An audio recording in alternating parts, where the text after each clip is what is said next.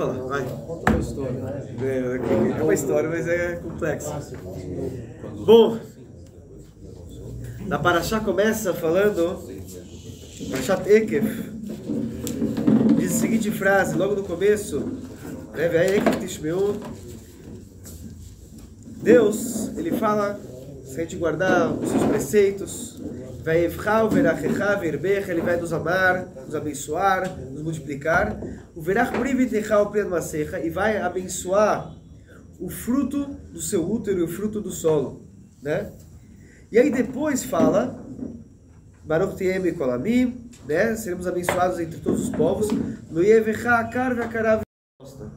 Quando a gente perguntar, você tem que ter sempre a resposta na ponta da sua língua. E qual é a história que conta? É, a história é o seguinte, que uma vez o Rabi Yonatan, ele estava andando lá em Israel, ele passou perto da cidade onde moravam os Kutim, Kutim eram os samaritanos. Ele estava andando com o burro, daí tinha uma pessoa que estava dirigindo o burro para ele, é, e aí junto aproximou um samaritano, e ele falou, para onde vocês estão indo? Ele falou para Jerusalém, ele falou, para que isso? Temos aqui o Har Grizim para os samaritanos, a montanha sagrada, tudo deles é o Har Grizim. Então o Har Grizim, foi para quem ir para lá. E, e aí o, o, e o samaritano ainda falou para ele, Rabino, por que, que essa montanha é tão sagrada, o Har? Eles estavam passando perto ali de Shem, ali no Har Grizim. Por que essa montanha é tão sagrada? E aí ele falou, de onde você tirou aquela sagrada? Né? Falou o Rabi Natan. Aí ele falou, ah, porque nessa montanha não caiu chuva do dilúvio. Aí ele falou, de onde você tirou que não, que não, que não choveu o dilúvio aqui? Aí ele, o samaritano trouxe um verso, um versículo de Hezkel, que está escrito, Ben Adam, at eretz lo meteorá e lo gushma. Deus fala para Hezkel, essa terra não, precisa, não é purificada porque ela nem foi, é, não caiu chuva no dia, no dia da, da raiva, ou seja, no dia do dilúvio, não choveu aqui.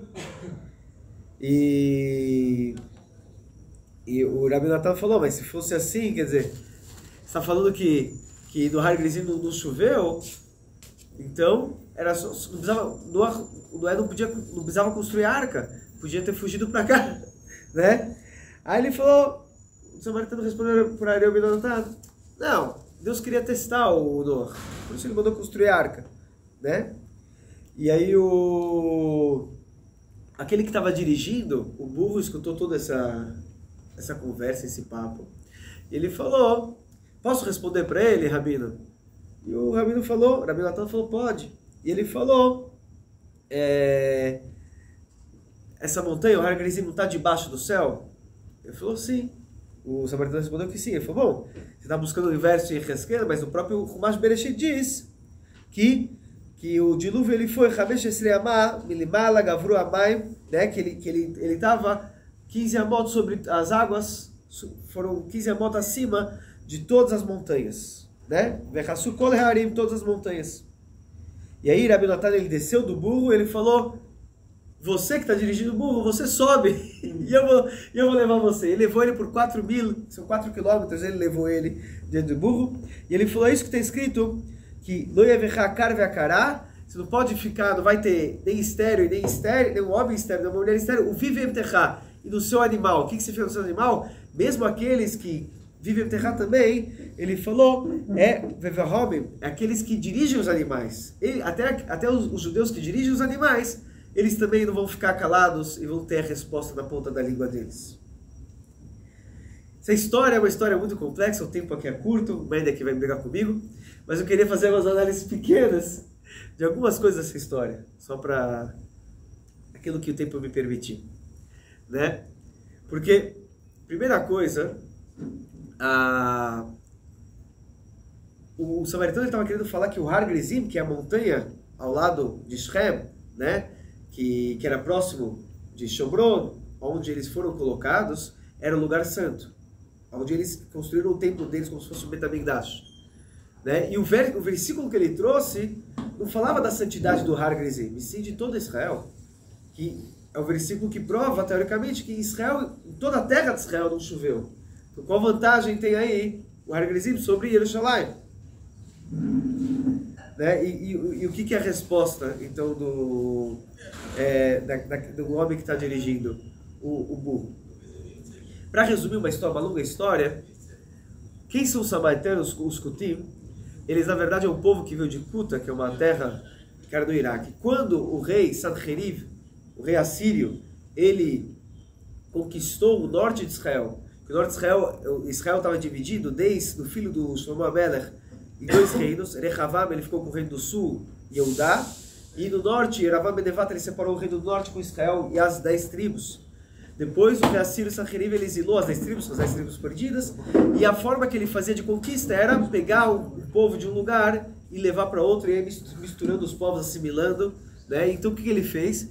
Ele pegou um povo que era de Kuta, no, no Iraque, e trouxe para Shomron, que era a capital do reino do norte, o reino de Israel. E ele colocou eles lá. Só que quando eles chegaram lá, se conta a Gemara, que eles estavam os Kutim, por isso que a Gemara faz questão de chamar eles de Kutim, e eles se chamavam de Shomronim. Eles eram originais de Samaria, né? De Shomron. Mas na verdade eles eram de, de, de Kuta, no Iraque. E quando eles chegaram lá, eles começaram a ser atacados por muitos leões, animais selvagens lá do norte de Israel. E eles perceberam que isso aqui era alguma coisa aconteceu aqui, uma praga. Eles queriam entender o que fazia o povo que morava ali antes deles, o povo de Israel. O que eles cultuavam. E descobriram, então, viram no Reino do Sul, eles aprenderam a Torá, aprenderam as mitzvot. Eles falaram, temos que, temos que abraçar a Torá e mitzvot, e um Deus único, monoteísmo, para ser salvados dos animais selvagens aqui da terra, e assim não vamos ser amaldiçoados. Eles abraçaram o judaísmo. No começo, sábios, inclusive, tinha uma grande discussão se a conversão deles era válida, tem a discussão trazendo da Mishnah, o nível de conversão, se, se aceita ou não aceita. E no final, da, da, no começo os sábios falavam que podia fazer bizimundo, podia participar, tinha uma grande discussão. No final a conclusão é que a conversão deles não foi válida, não só porque tinha uma discussão séria se eles fizeram por medo dos leões, mas também porque depois os sábios foram verificar e o que, que eles encontraram no templo deles, lá dentro do templo que eles construíram em cima do, do Har que era próximo de Shomron, eles encontraram lá, é, dentro tinha a imagem de um pombo uma pomba. Então, na verdade, todo o que eles cultuavam continuava ainda tendo alguma avodazará deles, que era o pombo. Mas qual era a simbologia do pombo? E aqui tem tudo a ver essa história com o dilúvio. Muito curioso. É, o, sempre esses os samaritanos, na história, quando o povo judeu depois, o reino do sul, o reino de Judá foi exilado, e depois os persas, eles permitiram, depois da história de Purim, os judeus voltarem a sua terra original, terra natal, né, com, com, com Círios, depois com Darius, permitiu voltar para Israel. Os samaritanos, quando Ezra e Nehemia estavam liderando a reconstrução do segundo templo, os samaritanos começaram a atacar Jerusalém e as muralhas de Jerusalém e queriam impedir a construção do segundo Betamigdash, dizendo que eles são o povo nativo de lá. E esses judeus são os colonos que estão querendo vir e pegar a terra deles. Uma história familiar, né? A gente vê um pouco disso. Apesar que todos os registros históricos diziam que, não, todo mundo sabia que eles vieram da. da os judeus falaram, eles são do Iraque. Falaram, não, não, a gente está morando aqui e agora os judeus são os forasteiros. Né? E qual que é o argumento deles? O argumento deles é exatamente esse. A terra de Israel é uma terra pura. É uma terra que não. É uma terra que nem, nem caiu o dilúvio aqui. Se não caiu o dilúvio aqui, por quê? Por que não caiu o dilúvio? Porque não precisa, já é uma terra santa. E aquilo que é santo é, não, não, não, não se corrompe. Já que não se corrompe, então não tem como o povo ficar corrompido aqui e ser exilado. Então, por isso, nós que continuamos aqui, somos os originais aqui. Não existe essa história do judeu, né? eles, eles eram os originais e se corromperam, foram exilados para voltar. Essa terra não precisa correção. E a prova deles é justo o pombo. O pombo, quando Noé, ele, Noah, ele mandou o pombo é, para ver se a terra estava seca, o que, que ele trouxe? O ramo de oliveira. Oliveira é uma árvore baixa. De onde ele trouxe o ramo da oliveira? Então, uma das explicações é, ele trouxe de Israel. Porque, como, de onde ia ter uma árvore de oliveira, que sobrevivia ao dilúvio. Então, ele foi para Israel e pegou o ramo de oliveira. Então o símbolo deles é o pombo, mostrando que Israel não teve dilúvio. Obviamente existem outras, por isso, por isso o Rabino Yonatan não, não, não, respondeu, porque ele sabe que essa opinião existe realmente na Gemara, na Mishnah, que Israel não aconteceu realmente o dilúvio. Mas existe outra opinião que fala que sim, aconteceu o dilúvio em todo lugar. E as árvores sobreviveram por um milagre. Todo, todo mundo as árvores sobreviveram porque não, as árvores não pecaram, então Deus protegeu as árvores. De qualquer forma, a resposta é vem do, daquele cara que está liderando o. Já que o tempo estourou, resumindo toda, toda a história, aquele que está liderando o burro, ele está dando a resposta. Ele mostra que mesmo uma pessoa simples não, não pode se bastar falando eu nasci santo. Eu nasci numa casa no berço de ouro, eu nasci em Israel, eu sou do povo Kadosh. Realmente, é, tudo isso é verdade. É verdade. Mas, mas isso não é o suficiente.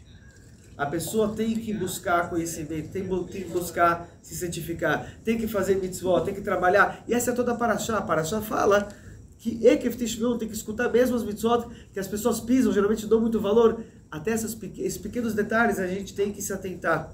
Então, a, a pessoa que tem o mais humilde de todos, ele também tem que ser, tem que se instruir, tem que estudar.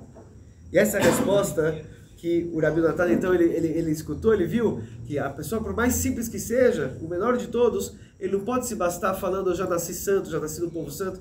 Não é isso que Deus quer da gente. Deus exige o mínimo detalhe, inclusive das pessoas mais simples. Né? E essa é a resposta que ele deu para ele. E, e, essa é a lição que a gente tem para os dias de hoje. Mais detalhes a gente pode continuar falando mais tarde. Aí o meu de hoje, dia hoje à noite, dia 22 de Av. O meu pai, o Rebbe Rashab, diz aqui o Rebbe anterior, ele falou que Birkot HaShachar, as, as, as bênçãos é, matinais, não devem ser pronunciadas sem antes ter lavado a boca pela manhã, com exceção dos dias de jejum. Bueno.